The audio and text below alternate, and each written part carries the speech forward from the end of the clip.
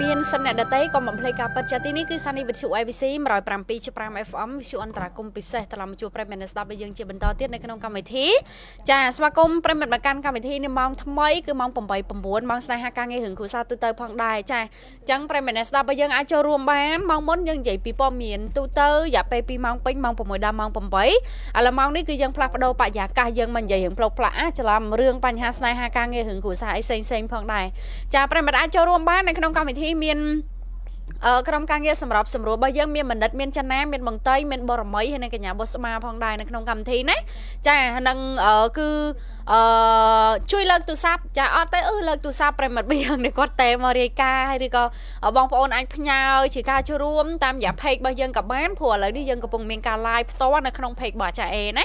ចាអញ្ចឹងបងប្អូន comment ក៏បានពេលដែលយើងមានបញ្ហាសាច់រឿងអីហ្នឹងគឺអាច comment ជាសាច់រឿងរបស់យើងចូលក្នុងឬក៏ផ្ញើលក្ខណៈជា private មក inbox សាររបស់ page ក៏បានដែរណាចាអរគុណហើយ ឥឡូវសំខាន់បងប្អូនយើងជួយ share មួយសិនណា share មួយ share មួយតតែឡើង view បានយើងមានអារម្មណ៍ក្នុងការឆ្លើយព្រោះអ្នកឆ្លើយខ្ញុំដូចវារបៀបដូចខុសគេប្រមិតដល់ view តិចដល់អារម្មណ៍អត់មួក្នុងការឆ្លើយដល់ពេល view ច្រើនបងប្អូនយើងគាត់ជួយ share ជួយអីច្រើនទៅវាអារម្មណ៍ល្អក្នុងការឆ្លើយហើយឆ្លើយទៅវាមានអារម្មណ៍ថាវាបានល្អអីចឹងណាចានិយាយលេងឯប្រមិតរបស់យើងតែគាត់ថាពេលដែលយើងមានបញ្ហាអីចឹងទៅមិនមែនមនិតជាអ្នកជំនាញអ្នកផ្ដល់យោបល់ខាងរឿងអីចឹងចឹងទេតែគាត់ថាយើងអាចដឹងខ្លះខ្លះតែមានប្រិមិត្តរបស់យើងអ្នកស្ដាប់ច្រើនអ្នកទៀតដែលគាត់ធ្លាប់មានបទពិសោធន៍គាត់ដឹងពាក់ព័ន្ធជាមួយនឹងបញ្ហាហ្នឹងគាត់ក៏ចូលរួមជាមតិយោបល់ល្អៗផងដែរចាអរគុណនៅក្នុង កម្មវិធីរបស់យើងមុនទៅជួបរឿងរ៉ាវស្នេហាឬក៏ការងារជាបន្តយើងសូមទៅ sponsor របស់យើងនៅក្នុងម៉ោងនេះគឺយើងអរគុណទៅកាន់កងហ្វូឡុងគ្រឿងបរិក្ខារទូរស័ព្ទដៃ Edition មុខគេនៅក្នុងប្រទេសកម្ពុជាបងប្អូនសួរថាអ្នកណាអត់ប្រើទូរស័ព្ទទូរស័ព្ទគ្រប់ដៃតែម្ដងអញ្ចឹងបើសិនជាចង់បានប្រភេទជាបរិក្ខារមានឆ្នាំងសាកខ្សែកាស power bank កាសខ្សែឬក៏កាស Bluetooth អីហ្នឹងនៅកងហ្វូឡុងគឺមានមួយស្អាតមួយសែតមួយអែមហ្មងប្រិមិត្តហើយគេមានលក់អាធុងបាសអា speaker អីទូចៗគឺខ្ជូតខ្ជូតធំធំក៏មានដែរចាអញ្ចឹងចង់ឲ្យប្រិមិត្តបើយើង download app របស់កង Flong មួយដាក់នៅក្នុងទូរស័ព្ទដៃដើម្បីយើងដឹងពីផលិតផលអីថ្មីថ្មីគេមានអីចេញមកថ្មីថ្មីអញ្ចឹងណាចា app របស់គេនឹងគឺឈ្មោះថាកង Flong នឹងឯងឬប្រិមិត្តបើយើងអាចតាក់ទងអឺ លេខទូរស័ព្ទ016 777 075និងម្សៅទឹកដោះគោ Frank Bebe ផ្ដល់ជូននៅកម្មវិធីពិសេសទៅកាន់អតិថិជន Frank Bebe គឺជាជំរើសដ៏ល្អបំផុតណាសម្រាប់កូនតូចតូចរបស់លោកអ្នកចាឱកាសពិសេសនេះប្រិមិត្តបើយើងទិញម្សៅទឹកដោះគោ2កែបញ្ចុះតម្លៃ3%នឹងមានកម្មវិធីបដូរសម្បកកំប៉ុងផ្សេងៗទៀតផងដែរចាចង់ដឹងព័ត៌មានបន្ថែមតាក់ទង Frank Bebe 012 8កុដ9721 012 8កុដ9721អរគុណជាបន្តទៀតគឺយើងអរគុណទៅកាន់បរិយភ្នំពេញសុកសានចាសម្រាប់បងប្អូនដែលគាត់ទៅព្រៀបការហើយឬក៏ចង់ចាប់ដៃគ្នាធ្វើជាគូអនាគតអីអញ្ចឹងទៅបើសិនជាអាចបងមលោះផ្ទះមួយប្រមិត្តហ្នឹងវាអាចចង់ឲ្យថាចេះវាក៏ជាគ្រឹះមួយដើម្បីរក្សាចំណងមិត្តភាពស្នេហារបស់យើងនៅឲ្យបានយូរវែងតែមុនយើងគិតអីផ្ដេសផ្ដាស់យើងគិតថាឥឡូវនេះយើងមានអីរួមគ្នាអញ្ចឹងណាចាអញ្ចឹងប្រិមិត្តរបស់យើងអាចអឺទិញ ផ្ទះនៅខាងបរិយភ្នំពេញសុកសាន បានព្រោះគេមានការបង់រំលោះសុទ្ធ100%តែម្ដងទៅលើគ្រប់ប្រភេទផ្ទះមានវិឡាកូនកាត់វិឡាភ្លោះផ្ទះល្វែងគឺមានច្រើនប្រភេទណាគេមាន6កម្រង8កម្រងតែលក់អស់3អស់លក់អស់5ហើយសល់6កម្រងទី6ហ្នឹងនៅផ្សារទូបង្រកម្រងទី7នៅខាងព្រៃសរនិងកម្រងទី8នៅខាងចំការដងព័ត៌មានបន្ថែមបងប្អូនតាក់ទងទៅកម្មបរិយភ្នំពេញសុកសាន012 37 30 30 012 37 30 30 និងអរគុណទៅកាន់ អឺគូបតាចាពេលវេលាគឺជាមាសប្រាក់ចាកាលណាតែគេជួយយើងកាន់តែច្រើនយើងអាចក្រោយចំណូលបានកាន់តែច្រើនម៉ាស៊ីនច្រូតស្រូវរបស់គូបតាចាច្រូតបានដំណាំច្រើនមុខជីវិតកាន់តែប្រសើរគ្រឿងបន្លាស់នៃសេវាកម្មរហ័សទាន់ចិត្តគូបតាបន្ថែមគុណតម្លៃរបស់លោកអ្នកអញ្ចឹងទៅភ្នាក់ងារចាយចាយណាមួយក៏បាននៅក្បែរផ្ទះណានិងអរគុណទៅកាន់អូសេឡាទឹកក្រែធម្មជាតិ100%ទឹកដែលមានកម្រិត pH 8ល្អសម្រាប់រាងកាយណា8.5ចាញ៉ាំទៅសម្រាប់ចាស់ចាស់ជួយកាត់បន្ថយកម្រិតជាតិអាស៊ីតហើយអ្នកដែលគាត់អាសាមានបញ្ហារឿងប្រព័ន្ធរលាហាណាញ៉ាំអូសាឡាក៏អាចជួយបញ្ហានឹងបានដែរចង់ដឹងព័ត៌មានបន្ថែមតាក់ទង015 9842ថ្នាំដុសធ្មេញ Modula ចាអ្នកមានបញ្ហារឿងក្លិនមាត់ចាស្អុយមាត់ណាធ្មេញមិនសស្អាតឬក៏អាសាស្រាវធ្មេញ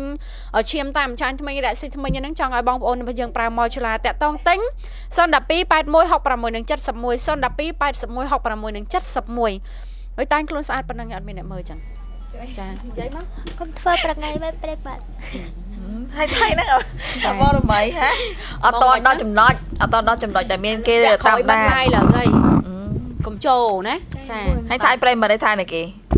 មានខ្លួនយកទៅ គ្រាន់តែសែមួយនឹងខុសអត់ទេសង្ស័យដលងអ្នកឡាយតាបើចា៎បើមិនដលងអ្នកឡាយប្រហែលអឲ្យត់ឡាតែយមែនស្រើតែមើលទៅៗ view វាដូចពិបាកតែហ្មងអត់ចេះទាញប្រិមិត្តឲ្យចូលមើលចា៎តែកាន់ឡាញហ្នឹងយកយល់ហ្នឹងអត់ចង់និយាយថាម៉េចទេថាបើថាចាហាខ្លួនឯងហ្នឹងក៏វារងគ្រាន់បើដែរវាអាចស្អាតមកសម្រាប់បានណាគេនៅសតចំហាយយកចា៎បាញ់គេបានហ្នឹងស្ដេហ៎អឺអឺជួញហីជួយតែឯងកំពុងអញ្ចឹងផងអូខេតើឥឡូវសុំព័ត៌មានបន្ទាន់មួយសិនចា៎មក កញ្ញាមនិតព្រោះអីមិញពីខាងបងភ័ក្រនីក៏ប្រាប់ថាគាត់អឺឲ្យខាងតកង់ឡានហ្នឹងយកម៉ូតូរបស់គាត់ដាក់នៅលើឡានដើម្បីឲ្យគាត់ធ្វើដំណើរពីភ្នំពេញអឺពីខាងប្រសិទ្ធនុទៅខាងភ្នំពេញណាចាដល់ពេលគាត់ប្រាប់តកង់ឡានថាបងឲ្យដាក់ម៉ូតូខ្ញុំលើឡានសិនប៉ុន្តែខ្ញុំសុំទៅទិញទឹកសុទ្ធផ្លែតណាចាគាត់ថាមកវិញឡានចេញទៅចោលគាត់បាត់អីដែលសំខាន់គាត់ថាមិនមែនតែកាបូបទេណាលើកនេះគឺម៉ូតូរបស់គាត់មួយគ្រឿងទៅមួយឡានហ្នឹងហ្មងអត់ដឹងថាតកង់ឡានគាត់ផ្លិចឬក៏គាត់បញ្ញាប់មួយខ្លាំងពេកដល់ណាទុកឲ្យគាត់ចោលនៅនៅឃ្លាំងលើដដែលហ្នឹងណាអឺតែខ្ញុំគិតថាកន្លងគាត់ផ្លិចតែដឹងព្រោះជាធម្មតាខ្ញុំធ្លាប់ជិះឡានតាក់ស៊ីដែរតាប្រិមិត្តចា៎ពេលទៅស្រុកអីអញ្ចឹងឯអ្នកខ្លះចង់ឲ្យថាអញ្ចឹងពេលវេលាដែលក្នុងអំឡុងពេលគេមានពេលហោះបងប្អូនត្រូវទិញអីទិញហើយជាធម្មតាគេស្រែកមុនហើយគេស្រែកមុនហើយគេប្រាប់មុនហើយអ្នកខ្លះអត់ទេអង្គុយធ្វើបង្អើយប៉ះសម័យបច្ចុប្បន្ននេះអ្នកខ្លះអត់ទេចុចទូរស័ព្ទធ្វើអឹងហើយអញ្ចឹងណាដល់ពេលចិត្តដល់ពេលមកគេចេញអូទិញទឹកមួយសិនអូជួនមួយសិនអូចូលបន្ទប់ទឹកមួយសិនចាជួនកាលពេលខ្លះគាត់សួរអញ្ចឹងហោគ្រប់គ្នានៅគ្រប់គ្នានៅអ្នកឆ្លើយឆ្លើយថាគ្រប់ហើយអញ្ចឹងទៅអាចចេញចោលតែឥឡូវធ្វើមិនចោះ ចាមានស្គាល់សាក់លេខឡានស្គាល់លេខទូរស័ព្ទស្គាគាត់ល់អត់ស្គាល់តែអូស្គាល់ស្លាកលេខអឺតកង់ឡានអត់ស្គាល់អឺលេខទូរស័ព្ទតកង់ឡាននេះស្គាល់អាស្លាកលេខហើយនឹងពណ៌របស់ឡានណាចាគាត់ថាអឺម៉ូតូរបស់គាត់នៅលើឡានហ្នឹងសូមឲ្យតកង់ឡានដែលជិះឡានសាំយ៉ងពណ៌សទទួលភ្ញៀវពីខាងក្រុងបរសៃនុនៅម្ដុំឃ្លាំងលើឡានទៅបំពេញវិញបើបានអឺដាក់ម៉ូតូឲ្យអត់ឃើញម្ចាស់ហើយគឺម៉ូតូ Dream 019ពណ៌ខ្មៅស្លាកលេខត្បូងឃ្មុំ 1G 1624 ត្បូងឃ្មុំ 1G 1624 ជួយបញ្ញាប់អឺតាក់ទងមក ABC យើងមកយើងឲ្យលេខអឺទូរស័ព្ទខាងម្ចាស់ឡានណាគឺធ្វើដំណើរចេញពីខាងអ่ะម្ចាស់ម៉ូតូចេញពីខាងបរសៃនុម្ដុំឃ្លាំងលើឡើងមកបំពេញវិញចាអរគុណបើមួយទៀតបើគាត់ស្គាល់ឈ្មោះកាន់តែល្អហ្មងព្រោះជាធម្មតាកន្លែងបេននេះមិនសូវយើងស្គាល់ឈ្មោះប្រហែលយើងនិយាយទៅអាចគេមានការតំណតំណងជាមួយនឹងខាងម្ចាស់ឡានឲ្យបែបអញ្ចឹងណាចាតែឥឡូវយ៉ាងណាបងតកងឡានណាបើបានសល់ម៉ូតូសល់អីមួយតាក់តងមកកាន់ ABC មក ABC ឲ្យលេខបងដែលគាត់ជាម្ចាស់ម៉ូតូទៅនេះមិនដឹងថាគាត់ក្នុងលក្ខខណ្ឌដែលមនិតបាននិយាយទៅដែលគេទុកពេលឲ្យគាត់អត់ទិញឬក៏ពេលដល់មកអូឈប់ទិញទឹកមួយសិនជួនកាលស្រែកទៅតកងឡានអត់លឺចេញបាត់ប្រយអញ្ចឹងទៅខ្ញុំជឿថាគាត់មិនមានបំណងទេណោះមើលទៅចាខ្ញុំធ្លាប់ចេញឡានអ่ะខ្ញុំធ្លាប់ចេញឡានខ្ញុំធ្លាប់ជិះទឹកខេតតកង់ឡានក៏ស្រែកក្តែងក្តែងថាអឺគ្រប់គ្នាដែរអឺម្ចាស់អាវ៉ាន់នៅដែរអឺចឹងចឹងហើយដល់ពេលគេស្រែកទៅអូខេគេមិនចេញទៅចាអរគុណតែឥឡូវយើងខាន់រឿងប៉ុណ្ណឹងសិនម្បាញ់ដោះស្រាយខ្លួនឯងខ្ញុំនឹងធ្វើមិនដែរឥឡូវសុំរឿងមួយទៀតមករឿងខ្ញុំហើយរឿងស្នេហាបន្តចានេះតាគឺស្នេហាបន្តចាអត់តែស្នេហាបន្តតាន់តាន់ត្មងណាចាចា ពុកកញ្ជ្រោលខ្លាំងហ្មងអ្នកឆ្លើយកញ្ញាមនិតក៏ដែរដល់ថ្ងៃពីខាងអ្នកមីងដែលគាត់តាក់តងមកក៏សុំមកបញ្ចេញឈ្មោះឲ្យគាត់រស់នៅខាងស្អាងខេត្តកណ្ដាលយើងហ្នឹងគាត់ថាកូនរបស់គាត់បានរៀបការជាមួយនឹងគ្រួសាររបស់គាត់ហ្នឹងរយៈពេលប្រហែលជាតាំងពីឆ្នាំ2014វារៀងច្រើនឆ្នាំដែរចាគាត់ថាស្គាល់ចិត្តគ្នារៀបការអីត្រឹមត្រូវចាស់ទុំដឹងលឺអីទាំងអស់តទៅពេលវគ្គបានរៀបការមួយគ្នាមានកូនមួយមានណា អ្នកមីងប្រាប់ថាគាត់ចេះតាមដានកូនប្រសារបស់គាត់រៀងប្លែកប្លែកតែកូនស្រីរបស់គាត់ហ្នឹងអត់ចាប់អារម្មណ៍ទេតែគាត់ជាចាជាម្ដាយក្មេងហ្នឹងចាប់អារម្មណ៍ណាកញ្ញាមនិតគាត់ចាប់អារម្មណ៍ថៃកូនភាសាឥឡូវអាសានិយាយទូរស័ព្ទម៉ែហើយលក្ខណៈនិយាយទូរស័ព្ទឯងកលៀតកលៀតអីអញ្ចឹងទៅហើយគាត់ចេះសួរកូនស្រីគាត់ថាអឺមានដឹងប្តីអឺកូនឯងប្លែកអត់ចាឃើញតែនិយាយទូរស័ព្ទមួយណាគេគាត់ណែអត់តាមដានទេលក្ខណៈថាគាត់មិនមែនចង់ចាក់ចូលគាត់គ្រាន់តែខ្លាចកូនរបស់គាត់មានបញ្ហាថ្ងៃមុខតទៅពេលថ្ងៃហ្នឹងគាត់ក៏លួចទូរស័ព្ទកូនភាសារបស់គាត់មានគេតេមកគាត់លើកខ្វាច់ គាត់ចង់ដឹងថាណាគេអ្នកតេមកគាត់មានចេតនាចង់ដឹងហ្មងនិយាយទៅគាត់មិនមានម្ដងថាឃើញធម្មតាឲ្យលើកទូរស័ព្ទឯងគឺមានម្ដងចង់ចង់លួចស្ដាប់ហ្មង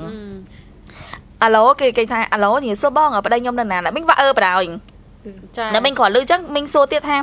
អឺហើយចាំមីអូនឯងហើប្តីអីបើទូរស័ព្ទទូរស័ព្ទកូនភាសាមិញនឹងគាត់ថាចឹងមិនមែនទេលេងលេងប្តីខ្ញុំតាហើយតែមិញក៏គាត់ថាអូអញ្ចឹងប្រហែលជាមិញអឺទៅសួរកូនមិញសិនអញ្ចឹងប្រហែលមិនដឹងប្រពន្ធគាត់មួយណាអីចឹងក៏និយាយត្រង់ត្រង់ដែរហ៎ហើយក៏បិទទូរស័ព្ទទៅហើយក៏គាត់យករឿងហ្នឹងទៅទៅចែកគ្នាជាមួយកូនភាសារបស់គាត់មួយកូនរបស់គាត់បានធ្លារឿងថាពិតជាមានស្រីមែនហើយកូនភាសាគាត់និយាយត្រង់ទៀតនិយាយថាខ្ញុំមានស្រីចាំម៉ែឯងចង់ធ្វើមកខ្ញុំហើយគាត់ក៏នឹកឃើញថាអឺប្តីប្រពន្ធចេះសួរធ្វើម៉េចទៀត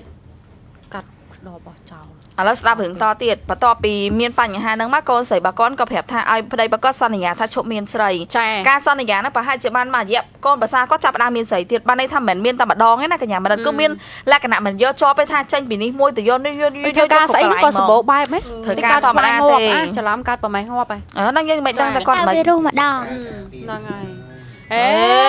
មិនប្រកាសការពីអង្ការពីអីជំនាញនឹងអីឆ្លាតនឹងអីគឺស្លាប់នឹងចាដូចអ្នកជំនាញហែទឹកចឹងស្លាប់នឹងលងទឹកហ៎ដល់ឥឡូវយើងលើកចាក់ស្ដាយថាថាគិសនីចាស្លាប់វាច្រើនស្លាប់ឆក់ខ្សែភ្លើងហើយចុះពួកយើងតើឯងហ្នឹងហើយ ហ្នឹងគាត់ភាសាមេក្រូហ្នឹងឥឡូវយើងបន្តទៀតបន្តពីដឹងឮថាកូនប្រសារបស់គាត់ហ្នឹងមានមានមានប្រពន្ធចង់ច្រើនមួយពីរអីចឹងទៅចាគាត់ក៏ប្រាប់ឲ្យកូនរបស់គាត់ហ្នឹងលែងគ្នាមែនតើរឿងនេះលែងមែនតើហ្មងមុនប្រហែលជាមួយឆ្នាំមុនគឺលែងគ្នាមែនតើហ្មងលែងគ្នាមានអត់មាននេតាសវលេគឺមានកដាស្នាមផ្ដិតមេដៃត្រឹមតែពីខាងភូមិឃុំតែគាត់ហួសចិត្តកូនស្រីរបស់គាត់នេះគាត់ដឹងទេថាពេលដែលបែកគ្នាហ្នឹងកូនស្រីរបស់គាត់លួចទៅរស់នៅមួយគ្នាចាលួចរស់នៅមួយគ្នារហូតដល់មានកូនណាមានកូនឥឡូវពើពោះប្រហែលជាចិត្តគ្រប់ខែខែ3ហ្នឹងឯង ហើយអឺចិត្តគ្រប់ខែខែ3ហ្នឹងម្លងពេលដែលពើពោះនៅមួយគ្នាហ្នឹងក៏ឆ្លោះនេះបែកគ្នាទៀតកញ្ញាមណិតតែឯដែលសំខាន់ណាមីងគាត់គាត់គាត់គិតក្នុងចិត្តតែចេះឥឡូវក៏គួរធ្វើមិនព្រោះកូនរបស់គាត់លទ្ធភាពក្នុងការចិញ្ចឹមក៏អត់មានអត់សូវមានលុយដែរហើយប្តីហ្នឹងក៏គេលក្ខណៈថាពេលដែលគេលេងលះគេឲ្យមួយខែ30ម៉ឺនហើយគាត់ថា30ម៉ឺនមិនចិញ្ចឹមកូន3នាក់មិនរស់ព្រោះតាមពីឆ្លោះនេះរហូតមកដល់ពេលហ្នឹងគឺមានកូនទាំងកូនមួយទៀតក្នុងពោះហ៎ហើយក៏សួរណៃចាអញ្ចឹង4ហើយក្នុងពោះ3បានន័យថាពីមុន2ឥឡូវក្នុងពោះទៀត3 ចាតែគាត់ទៅលួចរស់នៅហ្នឹងគាត់ទៅនៅផ្ទះផ្សេងឬក៏យូរយូរគាត់ទៅជួបគ្នាម្ដងលួចទៅនៅមួយគ្នាអត់ឲ្យគាត់ដឹងទេហើយគាត់ស្មារកូនស្រីរបស់គាត់ហ្នឹងចាក់លក្ខណៈថាចេញចូលទៅ គេងមួយគ្នាគេលួចទៅនៅញ៉ាំមួយអាណិតគ្នាហ្នឹងក្នុងអំឡុងពេលដែលពួកគាត់ប្រស្រ័យតាក់តងហ្នឹងប្តីហ្នឹងគាត់ទៅមានអ្នកណាគេជាប់លាប់ដែរឬក៏អត់ឬក៏លែងលះពីប្រពន្ធដោយសារតែម៉ែក្មេកអត់ពេញចិត្តគាត់ក៏ដើរចេញអត់ទៅទេកូនស្រីគាត់អត់មានប្រាប់ម្ដាយទេបានតែមីងគាត់ថាគាត់ហួសចិត្តមិនក៏កូនស្រីគាត់អត់ពិភាក្សាមួយគាត់ចា៎ពេលដែលលែងគ្នាកដាស្នាមលែងគ្នាហើយហ្នឹងណាលួចទៅនៅមួយគ្នារហូតដល់ចា៎មានកូនណាឥឡូវហ្នឹងខាងប្រុសគេលែងទទួលខុសត្រូវហើយហើយគាត់ថាគាត់គួរធ្វើមកយើព្រោះកដាលែងក៏លែងហើយដែរអឺតែសំខាន់កូនក្នុងពោះហ្នឹងជាកូនរបស់ម្នាក់ អឺអតីតប្តីហ្នឹងណាចា៎ហើយអតីតប្តីហ្នឹងថាចង់ទៅប្តឹងដល់ណាប្តឹងទៅខ្ញុំអត់ខ្វល់ទេសំខាន់ខ្ញុំលែងគ្នាហើយហើយចាហើយអឺគាត់គាត់គាត់ដឹងថាកូនស្រីគាត់ក៏ខុសដែរព្រោះពេលដែលលែងគ្នាមានកដាស្នាមទៅលួចរស់នៅមួយគេមួយគេរហូតដល់ធ្វើមានកូនទៀតបបាក់ណាអ្នកមីងដែលគិតថាអ្នកមីងនិយាយថាគាត់លួចរស់នៅតាមពិតទៅពេលដែលនិយាយរឿងលែងប្តីបើសិនឯគាត់គាត់អាចនឹងទៅលួចរស់នៅអញ្ចឹងណាខ្ញុំគិតថាក្នុងម្លងពេលលែងគាត់ក៏មិនសូវចង់ប្រហែលដែរ គាត់ក៏មិនសូវចង់លែងប្តីរបស់គាត់ប្រហែលទេព្រោះឯងគាត់នៅចិត្តអាឡ័យចាព្រោះគាត់នៅនៅស្រឡាញ់បើត្រឹមតាអាឡ័យបែបតិចតួចអាឡ័យអាឡ័យក្លិនអូនតិចទៀតតិចទៀតវាគង់តែបាត់ទេអាឡ័យវាមានអារម្មណ៍ថាវាដូចជាឈីវឈីវវាត្រឹមតែមហាកាត់ណាតែនេះគឺគាត់នៅស្រឡាញ់ប្តីរបស់គាត់ខ្លាំងហ្មងចាតែដល់ឥឡូវដល់ថ្នាក់ហ្នឹងតើចង់ឲ្យថាអញ្ចេះស្រឡាញ់បែបណាក៏ដោយឲ្យបប្តីប្រភេទអញ្ចឹងមិនដឹងយកមកធ្វើអីចាអត់មានការងារអីច្បាស់លាស់ត្រឹមត្រូវអត់សូវតែខ្លួនឯងមានប្រាក់ខែរាប់ពាន់ហើយទៅអញ្ចឹងគិតតែពីដើរចិញ្ចឹមស្រីហើយហ្នឹងមិនទៅ ចាហើយបាទឥឡូវគេឆ្លើយថាមិនទទួលខុសត្រូវហើយកូនវាចិត្តគ្រប់ខែហើយដាក់មីងទោះបីមិនចង់ទទួលយកក៏ត្រូវតែទទួលព្រោះរឿងវាកើតឡើងហើយអង្គវាខ្លាចទៅជាបាយកដាស់លែងលះក៏ហើយទៀតកញ្ញាមិនចាកដាស់លែងលះក៏ហើយទៅឥឡូវចាតែវាវាដល់ដំណាក់កាលហ្នឹងហើយយើងខ្លាំងក៏វាអត់មានបានអីដែរអញ្ចឹងមានតាចាញ់ដើម្បីឈ្នះប្រើវិធីលួងលោមគាត់ទៅគីឡូថាគាត់បានឲ្យលុយឲ្យកាក់ខ្លះដើម្បីយកមកຕົកសម្រាប់កូននេះ ចាឲ្យអត់លុយអត់អីផងអត់មានប្តីផងឲ្យកូនតប3ចាបើថាស្រឡាញ់គ្នាណាស់នៅស្រឡាញ់ប្តីខ្លាំងទោះបីដឹងថាប្តីនឹងខូចមិនក៏ដោយក៏ប៉ុន្តែអារម្មណ៍វាស្រឡាញ់វាមកបាំងអញ្ចឹងបាត់បាត់ទៅបាត់ហើយក៏ប៉ុន្តែវាអត់គួរបដោយខ្លួនដល់ថ្នាក់ហ្នឹងចាបើតាមស្ដាប់អ្នកមីងដែលគាត់ជាម្ដាយនិយាយមកមានអារម្មណ៍ថាកូនរបស់គាត់ដូចវាអត់ខ្វល់អីគ្រប់យ៉ាងគឺដឹងតែពីពាក្យថាស្រឡាញ់ហ្នឹងសូម្បីតែប្តីមានស្រីក៏គាត់អត់ដឹងគាត់អត់ព្យាយាមតាមដានគឺដឹងប្តីមានស្រីហ្នឹងដោយសារតែម្ដាយទៀត ចាហ្នឹងហើយដំបងឡើយមនិតគាត់ថាបើសិនគាត់ទាំងពីរនាក់គាត់រស់មានក្តីសុខទៅក្នុងនាមយើងជាម្ដាយអឺពេលខ្លះឃើញខុសក៏ចេះជួយកែតម្រូវតែបើទៅនិយាយវាមានតែភាពក្តៅក្រហាយនៅក្នុងចិត្តតែឥឡូវដូចនិយាយមិនអញ្ចឹងប្រិមិត្តបើយើងជួយឲ្យជាមតិយោបល់ផងព្រោះអ្នកមីងគាត់សួរថាគាត់គួរតែធ្វើមិនព្រោះกระดาษលែងលះពីខាងប្រុសហ្នឹងគាត់ក៏មានហើយអឺ ដល់ពេលឥឡូវហ្នឹងពេលដែលគាត់ចាប់ផ្ដើមដឹងថាកូនគាត់ទៅនៅជាមួយអតីតប្តីនឹងមានកូនហើយខាងប្រុសហ្នឹងវាឆ្លើយថាអត់ទទួលខុសត្រូវទៀតហើយបើនិយាយពីលទ្ធភាពគ្រួសារគាត់ហ្នឹងគាត់ថាវាវាពិបាកតែសួរចិញ្ចឹមរស់អត់វាប្រកាសជារស់តែគ្រាន់ថាពិបាកវេទនាអញ្ចឹងណាតែគាត់អត់ដឹងថាត្រូវធ្វើយ៉ាងម៉េចចានេះប្រិមិត្តបើយើងគាត់អឺបងនៅ Rain Style Thailand ក៏ប្រាប់ថាអឺយកមកធ្វើយកមកធ្វើយកមកធ្វើហ្នឹងចាអូមិនដឹងទេបងហើយ ចាឥឡូវប្រិមិត្តបើយើងជួយចូលរួមផងអានេះបើតាមយោបល់ខ្ញុំខ្ញុំគិតថាចាញ់ដើម្បីឈ្នះគាត់ហ្នឹងមានតែលងលោមលងលោមគាត់ទៅព្រោះយើងវាដល់ដំណាក់កាលនេះហើយទៅខ្លាំងជាមួយគាត់បានអីបើមនុស្សប្រុសប្រភេទហ្នឹងអត់មានទំនួលខុសត្រូវផងអានេះដឹងហើយថាប្រភេទប្រុសអីទេវាប៉ះពាល់ដល់ប្រុសគេទៀតណាយូរទៅអត់មានទំនួលខុសត្រូវនឹងទង្វើរបស់ខ្លួនឯងហើយឈ្មោះជាឪគេយ៉ាងម៉េចទៅហើយអនាគតរបស់លោកឯងនៅតែប៉ុណ្្នឹងទៅដើរតែបតិបតៈឲ្យតែគេមានកូនហើយរត់ចោលឆ្លើយអត់ទទួលខុសត្រូវអញ្ចឹងទៅ ចាហ្នឹងហើយអានេះបើបើតាមជាច្បល់ហ្នឹងដូចនិយាយចឹងប្រិមិត្តមានតលួងគាត់ទៅគីឡូវាបានលុយខ្លះយកមកទុកសម្រាលចាព្រោះកូនពីរហើយហ្នឹងចានេះប្រិមិត្តបើយើងគាត់ខមមិនគាត់ថាគាត់ជាម្ដាយគាត់មិនយល់អារម្មណ៍កូនចាអាហ្នឹងយើងមិនដឹងយ៉ាងម៉េចដែរណាបងចាជួនកាលគាត់ឃើញវាជ្រុលលេងចឹងទៅព្រោះពេលពេលខ្លះយើងអាចគិតថាក្នុងនាមយើងជាម្ដាយយើងគ្រាន់តែឃើញថាអើធ្វើម៉េចគេស្រឡាញ់គ្នាហើយគេពេញចិត្តក្នុងការទទួលយកកន្លែងណាដែលខ្វះខាតយើង ក៏បំពេញចន្លោះអីចឹងទៅឬក៏ដឹងថាខាងប្រុសនឹងខូចក៏ប៉ុន្តែគាត់នៅមានទំនួលខុសត្រូវជាមួយប្រពន្ធកូនយើងមិនទៅគួរចាប់កំហុសទេគួរតែមកណែនាំបែបថា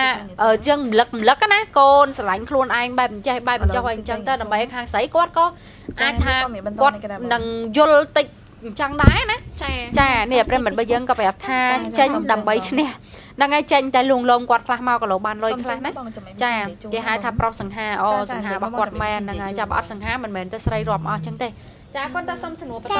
ចាសុំមួយសិនពីខាងប្រិមត្តគាត់ផ្ញើមកតាមភ័យគេណាបងគាត់ថាគាត់ស្គាល់គ្នាមួយប្រពន្ធរបស់គាត់ហ្នឹងគឺរយៈពេល3ឆ្នាំហើយប៉ុន្តែនៅពេលដែលគាត់ស្គាល់គ្នាហ្នឹងគឺក៏បានបែកបាក់គ្នាដោយសារ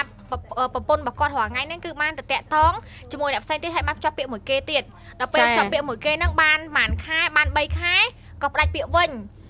ប្រពន្ធគាត់ទៅភ្ជាប់ពាក្យមួយគេផ្សេងហ្នឹងហើយហើយចាំប្រពន្ធមិនទៅភ្ជាប់ពាក្យចាំមើលបងឧទាហរណ៍ថាខ្ញុំសង្សារបងមនិតឯងអញ្ចឹងបន្ទាប់មកយើងបែកគ្នាកាលពេលសង្សារគ្នានឹងបាន3ឆ្នាំសង្សារសង្សារប្រពន្ធប្រពន្ធ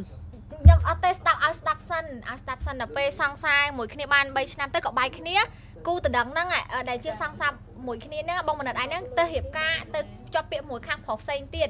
ដល់ពេលជាប់ពាក្យមួយប្រុសផ្សេងទៀតហ្នឹងបាន3ខែ ផ្ដាច់ពាក្យមួយគេវិញហើយមកសុំខ្ញុំត្រូវគ្នាវិញដល់ពេលហើយចឹងទៅបងប្រុសគាត់ថាអូត្រូវវិញក៏ត្រូវទៅតែតគូតដឹងស្រុកមកហ្នឹងហើយទៅនិយាយថាប្តីក៏សែនព្រេនដល់ពេលសែនព្រេនមួយគ្នាទៅបានតែមិនដឹងថា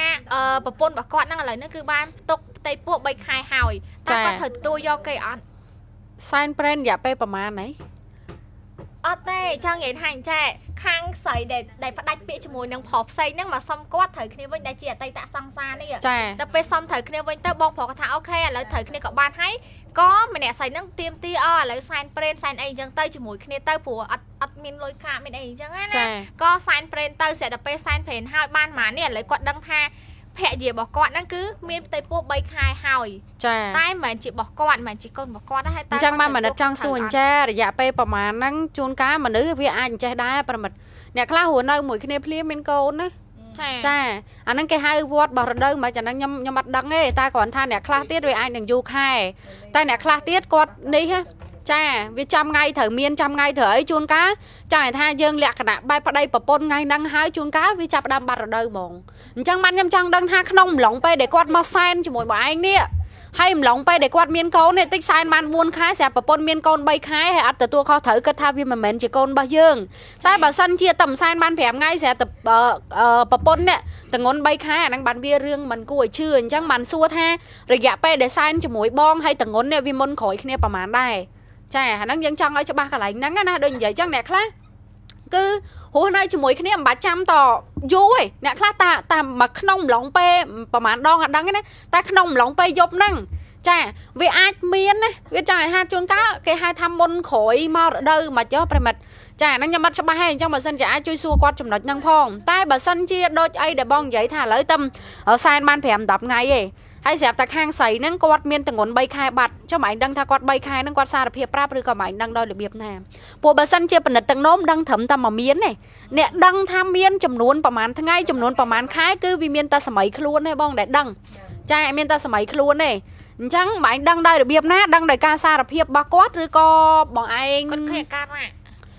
គ្មានអាការៈណាទៅស្មានគេដល់3ខែវាអត់អាចទេហ្នឹងហើយដូចគាត់ចា3ខែហ្នឹងហើយជួយអត់ទេចង់ឲ្យហា វាសម្រាប់ខ្ញុំខ្ញុំគិតថាអញ្ចឹងបើគ្រាន់តែស្មានអាការៈវាមិនមែន3ខែបើសិនជាបងឯងអាការៈបងឯងស្មានគាត់ដល់3ខែអញ្ចឹងមានន័យថាបងឯងរស់នៅជាមួយគាត់នឹងក៏មិនក្រោម3ខែដែរដែលបងឯងតាមដានគេមកឡើង3ខែហើយបងឯងគិតថាអញ្ចឹងចាមានមានន័យថាបងឯងដឹងហីអត់ទេដូចនិយាយមែនអញ្ចឹងថាបើសិនជាបងឯងសង្ស័យថាគាត់ទងន់3ខែដោយការតាមដានអញ្ចឹងបងឯងរស់នៅជាមួយគាត់ក៏មិនមែនក្រោម3ខែដែរចាអានេះជាយោបល់របស់មនិតទេណាតែបើប្រិមិត្តបើយើងគាត់យល់ឃើញមិនជួយចូលរួមផង វានៅតែសពេចសពិលបែបដដែលព្រោះថាអត់ដឹងថាអឺបែងដឹងនឹងដឹងដោយគេសារភាពតែបើសិនជាបែងកន្ទឹមរស់នៅជាមួយគ្នាបានកន្លះខែហើយខាងស្រីនឹងគាត់តងន់3ខែទាំងដែលគាត់សារភាពបើសិនជាបែងស្រឡាញ់ក៏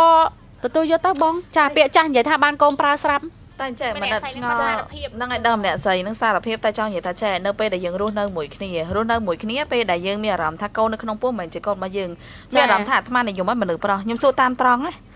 មែនតាពេលដែលដូចបងស្រីនេះអញ្ចឹងទោះបីជាបងឯងរស់នៅជាមួយគ្នាបងឯងអត់ដឹងថាកូននឹងកូនអ្នកណាតែបងឯងអាចទទួលយកក្មេងក្នុងពោះនឹងសិនបានអត់បងព្រោះវាអាចវាអាចថាពីមុនមកគាត់ធ្លាប់ធ្លុយមួយអ្នកផ្សេងប៉ុន្តែគាត់អត់តមានកូនទេកញ្ញាមនិតតែនៅពេលដែលគាត់រស់នៅជាមួយបងប្រុសនេះព្រោះយើងដឹងថាស្ត្រីយើងខាងមុនអាអ្នកមុនអត់បកែហ្នឹងហើយ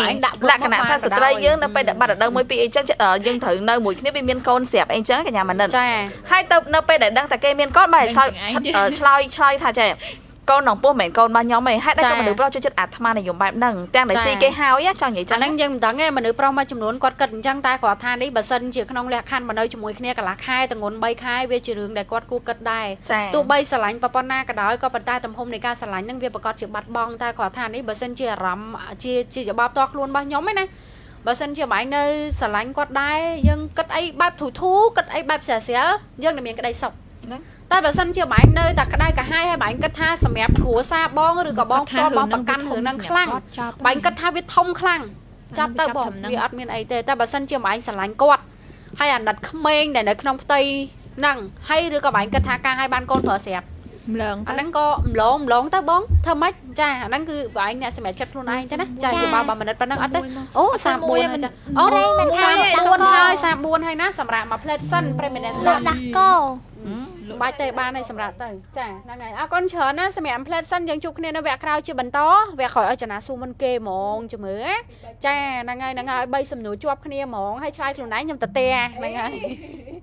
ចានិយាយលេងឯងប្រិមិត្តរបស់យើងត្រូវការកំងទិញផលិតផលសុខភាព ABC ចាតកតងមកកាន់លេខទូរស័ព្ទ10មិនិតបានណាដឹងជូនដល់ផ្ទះអត់គិតថ្លៃដឹកឯងលេខមិនិត092 92 23 24ជាពិសេសគឺតដោះគោ30សាឡា ចង់ឲ្យប្រិមិត្តបើយើង